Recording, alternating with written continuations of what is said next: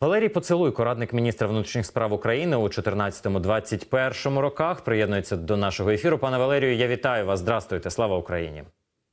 Доброго дня, студія. Доброго дня, українці. Героям слава.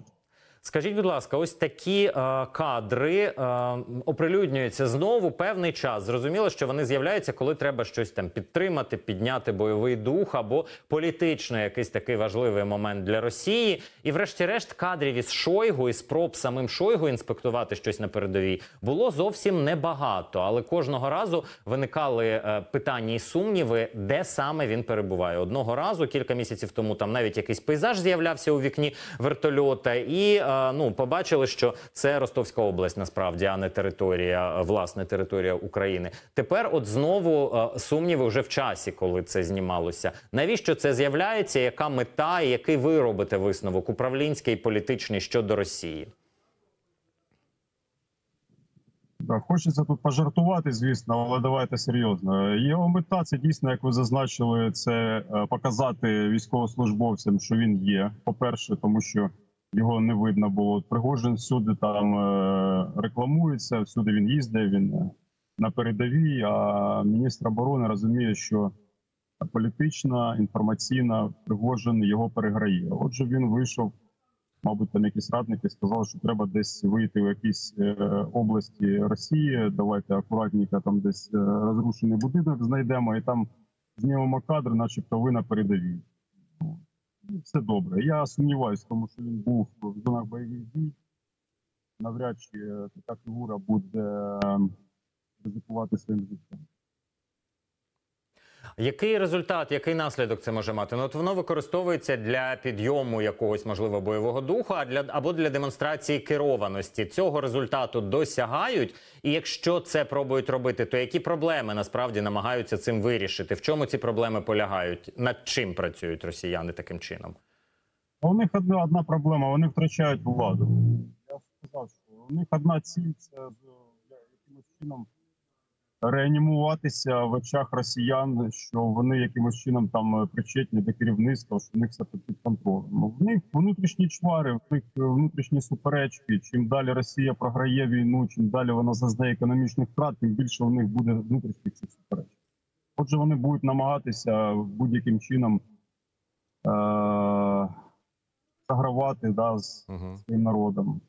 От. А з другої сторони, обстрілювати свою ж територію чинити хаос на своїй території, залякуючи свій народ для того, щоб якимось чином їх мобілізувати і змусити піти вмирати.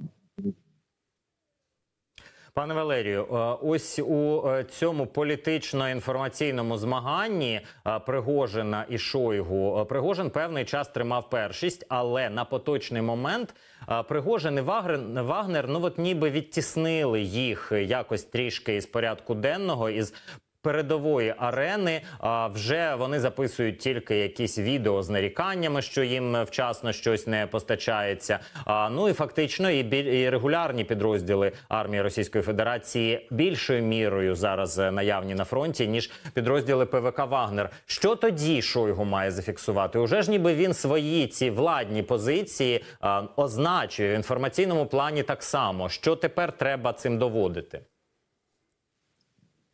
Дивіться, вони йде внутрішня боротьба.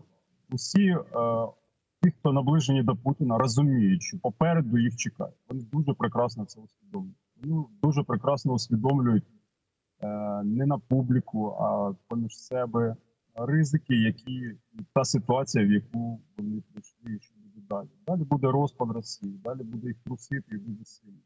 Путін не вічний. Уже сьогодні розпочалася внутрікланова боротьба наперед хто буде і що буде, і хто очолить які потоки, і хто сяде в крісло царя, хто буде наближений до царя. Отже, ця боротьба розпочалась. Звісно, Пригожин своєю інформаційною кампанією ВК Вагнер за рахунок цього гарматного м'яса виліз наверх, висунув голову. Там цього дуже не полюбляють, тому що довгий час навколо Путіна вони вибудовували це коло. Тут Пригожин якийсь е, смерть. Він не є тою голубої крові, да, блакитної. Він не з їхнього там кружка. Він сьогодні стає фаворитом. Звісно, вони ревнують. Більше того, там іде справа з грошах. Тому що чим більше Пригожин набуває цієї влади, тим більше він е, просить у царя, і він йому дає той цар, що Угу. знає у когось. Вони ревнують. Отже, це внутрікланова боротьба. Отже, далі чекаємо е, нових цікавих, е, я не знаю, що там, замовних вбивства Росії, розправок, роз... Це буде все попереду. Пане Валерію.